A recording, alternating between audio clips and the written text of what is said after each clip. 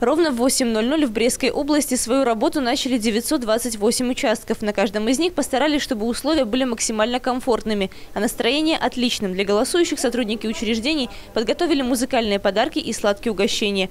Уже в начале 9 на участках города стали появляться первые наиболее ответственные избиратели. В их числе и губернатор региона Анатолий Лис. По давно сложившейся традиции руководитель области приходит на участок рано утром, чтобы отдать свой голос за кандидата, человека, знающего свое дело. Это должен быть человек, который прошел уже определенную школу, где-то имеет опыт работы в той или иной должности, на том или ином месте.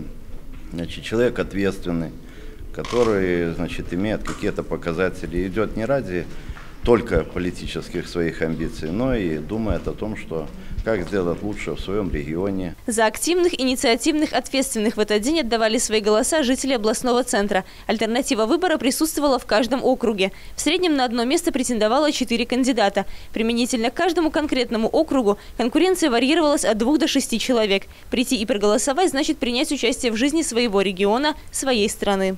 Долг каждого гражданина, на мой взгляд, э, участвовать в развитии общества. И выборы – это главное политическое событие года, в котором должен поучаствовать каждый гражданин. Для меня это как э, толчок к дальнейшему развитию нашего общества, сильно процветающей Беларуси. Всего в списке избирателей области были внесены более 900 тысяч человек. Треть из них отдала свой голос уже в первые часы работы участков. В целом по республике явка была сопоставима с той, что была на аналогичных выборах 4 года назад. Показатели отличают лишь десятые процента. Голосовать приходили даже семьями, специально в день выборов. Мы уже на одном участке были. В принципе, все чинно, благородно, все организовано. Ты если идешь э, свое, ну, с душой сюда, то які можуть бути ці самі нарушення? Никаких.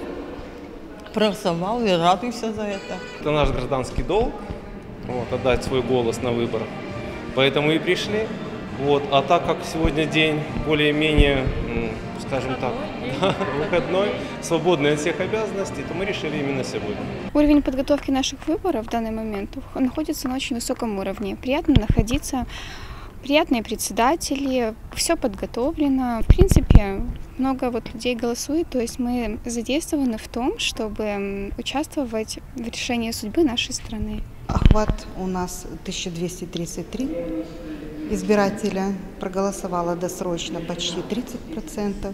Вот. Ну и, естественно, ожидается, что надомников очень много, кто будет голосовать по месту нахождения избирателей. Ожидается явка избирателей более активная, чем при досрочном голосовании. Вот, и, наверное, результаты будут выше. За ходом избирательной кампании с 6 по 11 сентября внимательно следили представители национальных и международных миссий. Среди них есть те, кто уже не один раз наблюдает непосредственно за выборами в нашей стране. И отмечает, в модели избирательной кампании Беларуси есть много моментов, которые можно было бы позаимствовать для организации выборов в своих регионах. Я вот уже сегодня своим коллегам говорил, что даже из этого зала я кое-что выношу.